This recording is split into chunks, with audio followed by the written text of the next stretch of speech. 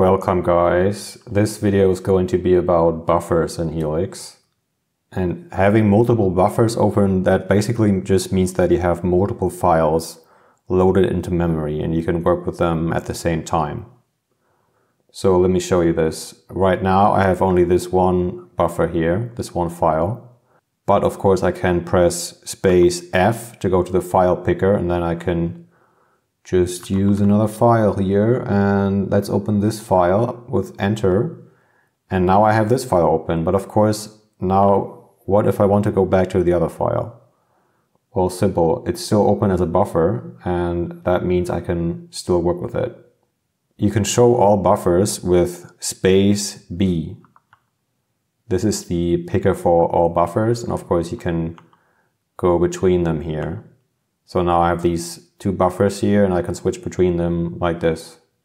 You can also uh, use the command colon buffer next, or for short, just bn. That will also send you to the next buffer. And of course, you can also do bp for buffer previous. And you can switch between these two buffers this way. Another way is you can use go to mode and you can just press gn to go to the next buffer and gp to go to the previous buffer. If you want to close the current buffer, you can use bc or buffer close, that will close this current buffer here. So now if I press space B again, you can see I only have this one buffer open now. If you want to close all buffers, you can use colon buffer close all or BCA. And that will close all buffers but without quitting Helix. So now I have no buffers or I have just this empty buffer here because I don't have any open files. So let me open another file here. It doesn't really matter. Uh, yeah, I don't know. Let's just get a Rust file again. There's also write buffer close, which saves and closes the buffer. So if you want to save and close the buffer, you can use write buffer close or WBC.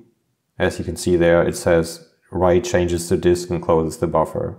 Of course, you can also give a file path here if you want to. Some file, whatever, you know. What's really useful when working with different buffers is having a buffer line. And you can enable that by typing colon set space buffer line always.